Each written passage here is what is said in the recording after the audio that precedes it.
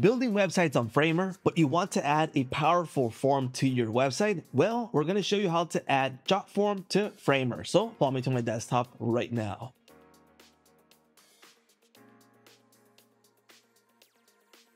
Hey, what's up everyone? My name is George and on this video I'm going to show you how to add your Jotform into your Framer website. It's going to be super easy. All you have to do is follow my steps, alright? So on this video I'm going to build a basic form that we're going to use to add it to Framer, right?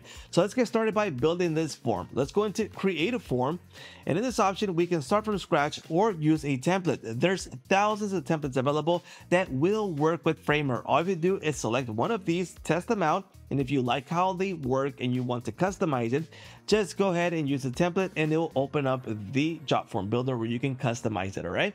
Now, check these out, link we provided in the description. Okay, so we're gonna do start from scratch, okay? And we have two options. We can use classic form or card form. In this case, let's use card form. That means that it's a step-by-step -step form that looks really good, all right? So on the left, we have our elements and we want to add the basic elements for our contact form that we want to use on Framer, okay? So let's ask for the full name, address, phone number, and the email. Okay, we're gonna keep it really basic, but there's several elements available that we can use right here. Okay, several type of questions, several type of survey elements. There's also payment gateways in case we want to ask for a payment on this particular form. We can also add a card to sell products and all that stuff, right? There's also widgets for this. Okay, now after you've built your form, we have options available for the form designer. You can change the look and style of your form for example, in this case, I can select a different color style and it'll automatically update the whole layout. Or I can add an image, I can add a video to this, and I can also change the layout. In case I change my mind and I don't want to use the card form, I can change it to a classic form by just selecting this right here. So it's just super easy and practical to use Jotform, right? Now, what we want to do to add Jotform to Framer is let's head on over to Framer.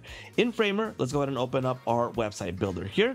And I have a basic template added here. So it's just a basic landing page which we're going to add our form, okay? So let me go ahead and drag this to the top. Here it is. And on the left, we have insert. We're going to click on insert and there's several elements available here. You can select pages, sections, navigation. But in this case, what we want to do to add our Jotform form is that we want to click on utilities and we want to add the embed option. So you can go ahead and drag it inside your website wherever you want to locate it. And in this case, I'll just locate it here for testing purposes okay and it adds this section now what we need to do is grab our Jotform url that we're going to paste right here okay?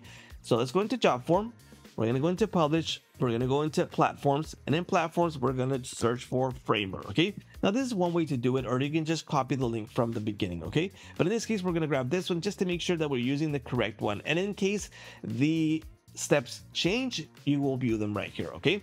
Let's go ahead and copy this code Let's go into Framer and let's go ahead and paste the URL. Let's click outside and this should be updating here. And here it is. Now we have our card form available here. Now, once you add it here, you have several available options. We can go ahead and make this bigger and you can see that it automatically adjusts because Jotform will provide that feature for you even on Framer, okay? There's also options available to drag it to different sections. So let's just say that we change our mind and we don't want it here in the buff. We want to change it afterwards here. Well, you can just drag it really easily. And on this element, there's options on the right, okay? You got positions to change it here. You can make it sticky. You can make it absolute or relative. You can change the size here. You can also add effects here to hover, press, loop, etc. There's cursor, there's style, and there's a lot of things that we can do here on Framer for this particular element, okay? And once you like it the way it is, we are going to preview this first by clicking on the play button. Scroll down here, and here we have our form. All right, here we go. Everything's fine. Let's just say that it's in the right section. Everything's correct. We are good to go. So what we want to do is head on out of here. And now we're going to publish. Once we publish this, it's going to be live, right?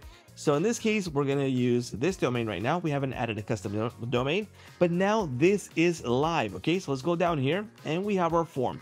Let's go ahead and fill it out right now for testing purposes. And I'll add my name, George Aguilar.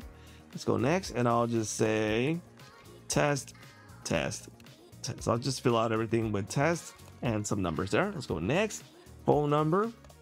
Hit next and the email. I'll say test at test.com. Here we go. Let's go ahead and submit this. And now it's been submitted. Remember, this is on a live website with a live form from JotForm, right?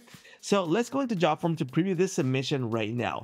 So currently there's several ways that you can view your submissions in JotForm tables, okay?